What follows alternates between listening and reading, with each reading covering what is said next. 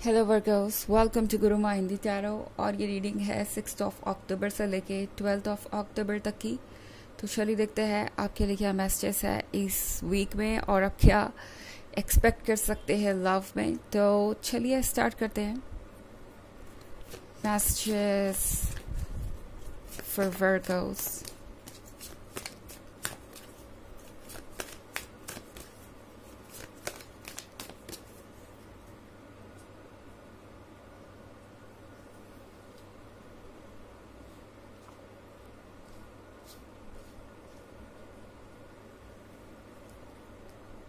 Black Shuck, Child of Visions, The White Heart, Enchanter's Wheel, and Nine of Bones. okay. तो हमारे पास है the white heart the white heart के साथ लगता है जैसे कि ये पर्सन आपको देख के थोड़ा सा सरप्राइज़ है इस पर्सन को ये उम्मीद नहीं थी कि ये रिलेशनशिप um, कभी रियलिटी में मैनिफेस्ट भी हो सकता है। इस पर्सन को सिर्फ़ आपके और उनके बीच ही बाधाएँ और डिफरेंसेस नज़र आ रही थी। उन्हें नहीं पता था कि चीज़ें इतनी भी बदल सकती हैं। Okay okay? ये एक ऐसा पर्सन हो सकता है जिसका आप पर बहुत लंबे समय से क्रश था। एंड uh, अब अगर आप रिलेशनशिप में है फिर भी इस पर्सन के लिए ये बिलीव कर पाना बहुत मुश्किल हो रहा है कि वाकई में ये रिलेशनशिप वर्क करेगा। आई I मीन mean, इस पर्सन को ऐसा फील हो रहा है जैसे वो किसी न किसी डिपार्टमेंट में या किसी न किसी तरीके से आपसे कम है। ये पर्सन खुद को आपसे कंपेयर करता है और uh, लगता है जैसे कि ये पर्सन आपको हर तरीके से परफेक्ट पाता है अपने लिए। और फिर ये सोचने लगता है कि क्या आप भी उनके लिए ऐसा ही सोचते हैं। बिकॉज़ उन्हें लगता है कि शायद वो आपके लिए परफेक्ट नहीं है। ओके द वाइट हार्ट के साथ इस पर्सन को नज़र आ रही है आपकी ब्यूटी आपका मैजिक एंड मोस्ट इम्पॉर्टेंटली इस पर्सन को लगता है कि आप उन्हें, उनकी मंजिल तक पहुँचा सकते हैं। ओके द वाइट हार्ट हमारे स्पिरिचुअल गाइडेंस को शो करता है। तो इस पर्सन को लगता है कि एक तरीके से आप उनके लाइफ में बहुत कुछ बदलाव लेके आ रहे हैं। क्योंकि अगला ही कार्ड द इंचैंटर्स व्हील का है। इसका मतलब है कि आपके आने के बाद इस पर्सन के लाइफ में बहुत कुछ बदला है। इस पर्सन को पहले से कहीं ज़्यादा लकी महसूस होता है। उन्हें लगता है कि वो डेफिनेटली एक सही पर्सन के साथ है। सभी, तभी सारी चीज़ें फेवर में वर्क कर रही हैं।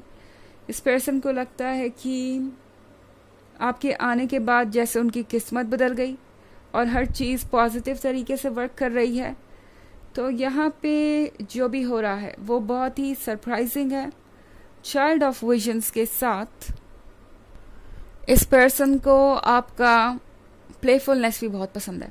ओके okay, आपका ये बचपना आपकी ये इमेच्योरिटी इस पर्सन को पसंद है उन्हें लगता है कि जो भी हो रहा है वो वो शायद इसलिए हो रहा है कि वो अपने वो मोमेंट्स जी पाए जो वो जी नहीं पाए अपने लाइफ में। लाइक like, शायद ये पर्सन अपने पास्ट में बहुत ज़्यादा स्ट्रगल कर रहा था या अपने लाइफ को पूरी तरह से एंजॉय नहीं कर पाया। एंड जब ये आपको देखते हैं कि किस तरीके से आपने अपनी लाइफ को जीना सीखा है। लाइक like, आप जो चाहते हैं वो करते हैं। जो चीज़ आपको खुशियाँ देती है आप उसके लिए आ, समय निकाल ही लेते हैं। आपके लिए लाइफ एक बर्डन नहीं है। एक तरीके से आपने हर चीज़ को हैंडल करना और एक्साइटेड रहना सीख लिया है लाइफ के बारे में। इस पर्सन को कभी इस तरीके से कुछ एक्सपीरियंस नहीं हुआ।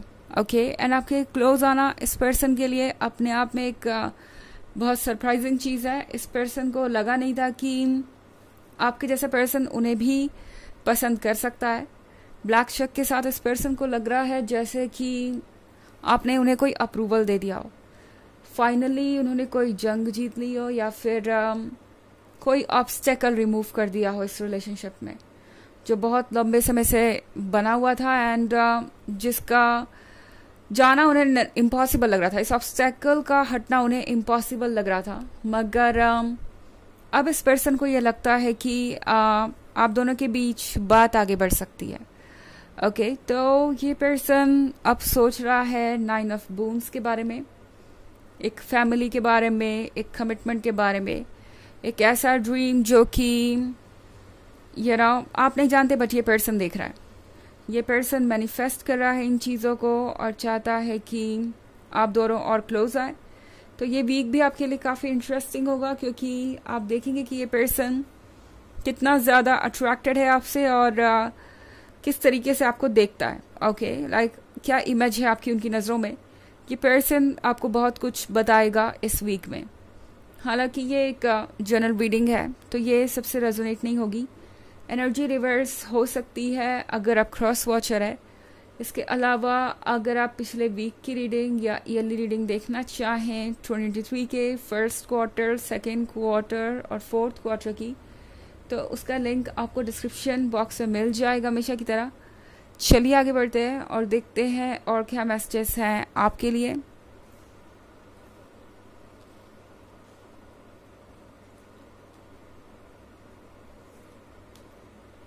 Two of challenges, seven of booms, sunlight,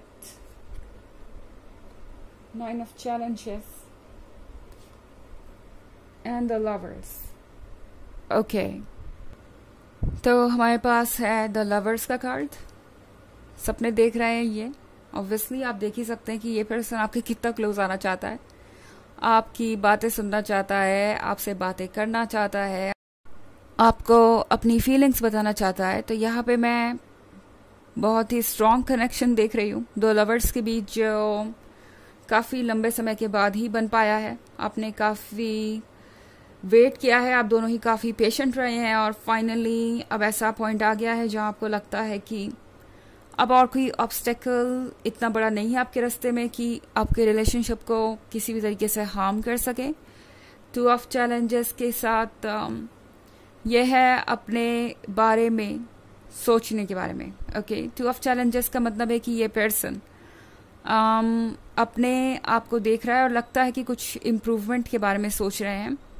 खुद को देख के अक्सर ये पर्सन सोचता है कि क्या वो आपके काबिल हैं क्या वो आपके लायक है। एंड uh, ये पर्सन um, आपके अकॉर्डिंग खुद को ट्रांसफॉर्म करना चाहता है। सेवन ऑफ़ बूंस के साथ इस पर्सन को आपको अभी और भी जानना है ओके आप ये दरवाजे देख रहे हैं? ये बंद दरवाजे हैं और इनके पीछे की मिस्ट्री इस पर्सन को हमेशा सोचने पे मजबूर कर देती है कि आखिर जब ये दरवाजे खुलेंगे तो इसके पीछे होगा क्या? तो यहाँ पे ये पर्सन सिर्फ़ और सिर्फ़ आपके बारे में सोचता रहता है, इस वीक में ऐसा ही कुछ होगा। ये पर्सन आपके बारे में सब कुछ जानना चाहेगा। इनफैक्ट बहुत क्लोज आएँगे और बहुत डीप क्वेश्चंस भी पूछ सकते हैं आपसे। सनलाइट के साथ आपको लगेगा कि फाइनली आप दोनों उस फ़ेज़ में आ गए हैं जब आप दोनों ने एक दूसरे को खुल के समझना शुरू कर दिया एक दूसरे के सामने। एक दूसरे के सामने एक्सप्रेस कर पा रहे हैं खुद को। तो अब ये जो रिलेशनशिप है वो एक नेक्स्ट uh, लेवल पे जा रहा है। नाइन ऑफ़ चैलेंजेस के साथ ये अकेलापन ये डार्कनेस ये सारी चीज़ ये पर्सन ख़त्म करना चाहता है। उन्हें अब ये सब कुछ नहीं चाहिए। अब उन्हें अगर कुछ चाहिए तो वो है उनका लवर और एक डेस्टनी उसके साथ, एक फ्यूचर उसके साथ। बस इतना ही। चलिए देखते हैं कि आपके लिए ऑरिकल मैसेज क्या है।